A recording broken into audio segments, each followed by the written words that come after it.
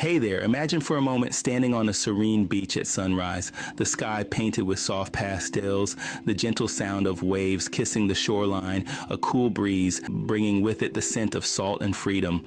Feels peaceful, right?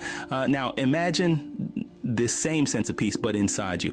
That's what finding peace in Jesus is like. It's not just a fleeting moment on a beach, it's a constant presence, even in the stormiest of times. Picture a stormy sea, waves crashing, wind howling, everything in chaos.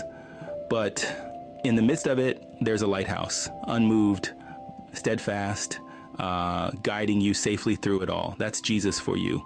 Um, when life feels like it's spinning out of control, turning to Jesus is like finding that lighthouse. You see, peace in Jesus isn't about the absence of problems, it's about having a rock to stand on no matter what comes your way. Think about when you're stressed or anxious.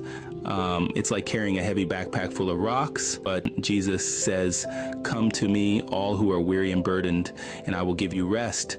Imagine dropping that heavy backpack, um, feeling the burden lift, and, and, taking a deep breath of relief.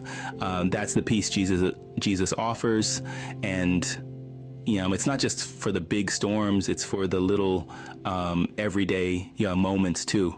When you're stuck in traffic, um, stressed about a deadline, uh, or just feeling overwhelmed, to turning to Jesus in those moments is like finding a quiet corner in a bustling city, uh, a place where you can breathe and reset. So if you're um, searching for peace, real lasting peace, look to Jesus. He's the calm in your storm, the rest for your soul, and the steady rock you can always lean on. Remember, peace isn't something you find um, outside, it's something you cultivate inside with Jesus. Seek Him and discover the unmatched peace that only He can provide. Thanks for watching. Don't forget to like, share, and subscribe for more inspiring content. Take care and be at peace.